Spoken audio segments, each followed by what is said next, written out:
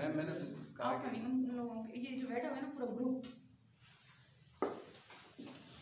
बहन समझेंगे ना तब रिस्पेक्ट देंगे ऐसे नहीं देंगे। बिल्कुल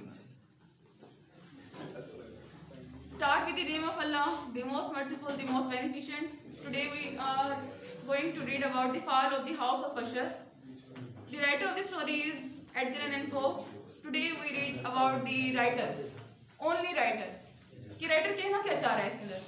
My voice is clear. Yes ma'am सब बच्चे सुन सकते हैं मुझे?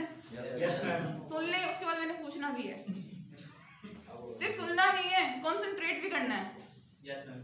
और जब कहूँगी ना तो गले से आवाज़ भी निकालनी इतनी इतनी सी आवाज़ निकलती है फिर आप कहूँगी you mister be serious please you yes you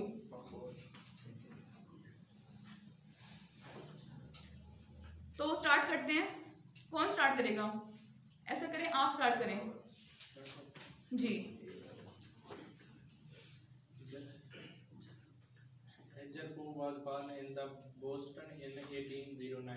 His father name was David and his mother name was Elizabeth. Elizabeth. मैं किसी को भी कह सकती हूँ कि नेक्स्ट आप स्टार्ट करें बड़े कंसंट्रेट करें आप लोग His father was born in the Baltimore in 1784. Ji His mother Elizabeth Arnold came to the U.S. from the England in 1796 and married David who after after her first hu- husband died in 1805.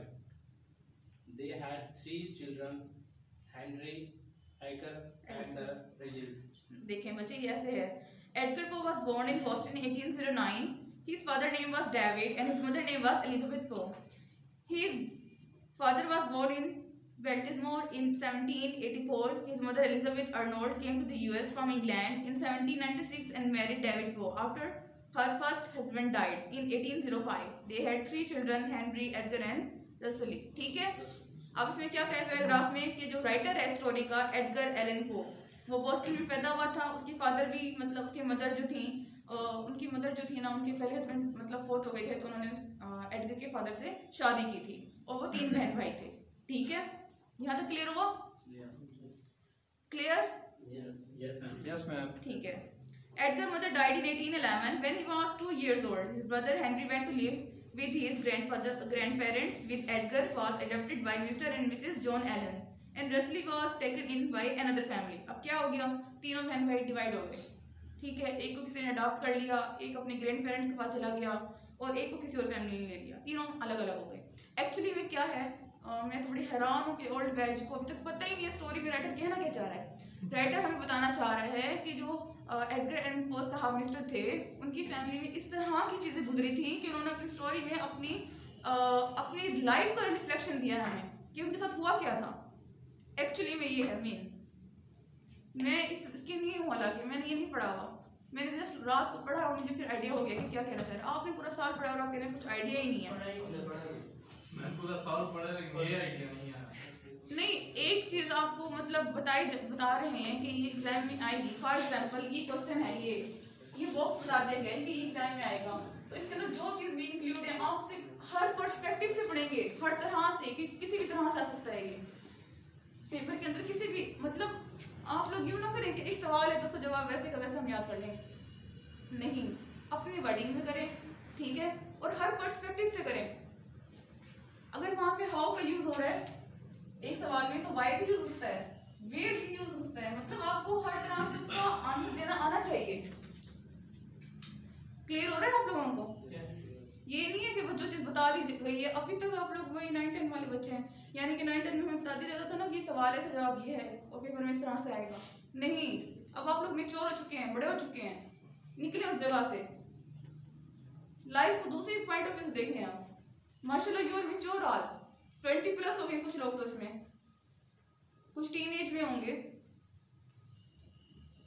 मैं भी आप लोगों की as फैला मैं तो इतनी ज़्यादा नॉन सीरियस एटीट्यूड नहीं है मेरा।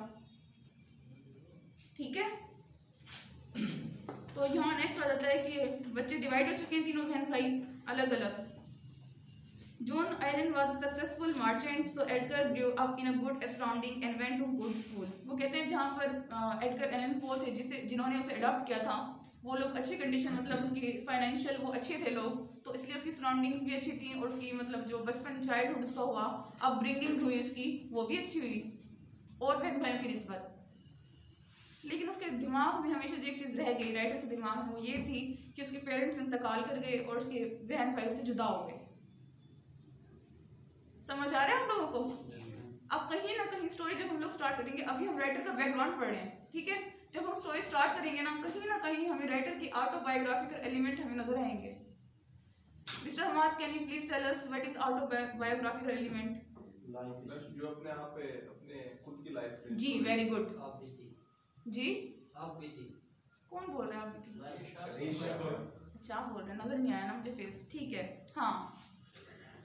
Is the difference between autobi- autobiographical and biographical? आप बताएँ। गर्ल्स प्लीज़ पार्टिसिपेट क्या करें? प्लीज़ बायोग्राफी जो कोई भी लिखता है किसी और पे लिखना। आप बताएँ आप। ऑटोबायोग्राफी मैम कोई अपने बारे में खुद लिखता है और बायोग्राफी कोई और लिखता है किसी के बारे में किसी के बारे में वेरी गुड पॉइंट ठीक है When Poe was six, he went to school in England for five years. He learned Latin and French as well as math and history. अब उसने कितनी लैंग्वेजेस पढ़ी फ्रेंच लैटिन ठीक है मैथ पढ़ी और हिस्ट्री पढ़ी He later returned to school in America and continued study. Edgar Allen went to the University of Virginia in 1826. He had to quit school less than a year later due to fanatical constraints. Edgar Poe Allen had no money, no job, no skill, no went Boston and joined the US Army in 1827. क्योंकि उसके पास ना कोई experience था ना job थी कुछ भी नहीं था अब वो एक क्वालिफाइड स्टूडेंट था ग्रेजुएट स्टूडेंट था लेकिन कोई जॉब जॉबलेस था बेचारा तो उसने क्या किया यूएस आर्मी यूएस आर्मी को ज्वाइन कर लिया आप अब स्टोरी पढ़ेंगे ना आपको मज़ा आएगा पढ़ते वक्त क्योंकि राइटर की, जब तक हम राइटर के बारे में जानेंगे नहीं तो किस तरह हमें पता चलेगा कि भाई स्टोरी में क्या है? पहले हमेशा राइटर के बारे में पढ़ेंगे राइटर कहना क्या चाहता है इसका बैकग्राउंड क्या है? अभी जो मैंने पब्लिक सर्विस की तैयारी की थी ना तो मैंने बुक्स नहीं पढ़ी थी, मैंने राइटर्स के बारे में पढ़ा था। अब जैसे मैंने आपको बताया, एक बुक थी tale of two cities by Charles Dickens मैंने tale of two cities direct नहीं पढ़ना स्टार्ट कर दी, पहले मैंने चार्ल्स डीकन को पढ़ा कि वो कहना क्या चाहता है। आफ्टर दिस मैंने टेल ऑफ़ सिटीज़ पढ़ी।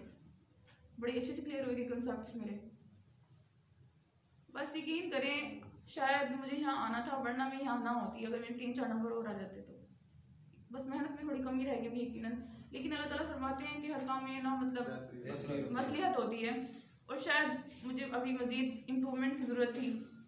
कि शायद मैं अभी इतनी एक्सपीरियंस नहीं थी। कुछ ना कुछ तो वजह रही होगी ना, जो मैं नहीं कर पाई। But it was my first attempt इंशाल्लाह नेक्स्ट टाइम मैं हो जाऊँगी. इंशाल्लाह मुझे पूरा यकीन है. और आप लोगों को भी यकीन होना चाहिए मेरे काबिल एहतराम और नहायत मोजिज बुगला. वकील बनने चाह रहे हैं आपको पेशा देखिए कितना अच्छा है. आपको इतनी रिस्पेक्ट दे रही हूँ मैं ठीक है? तो मेरा ख्याल है आज को हम यहीं पे टॉपिक अपना करते हैं समाप्त.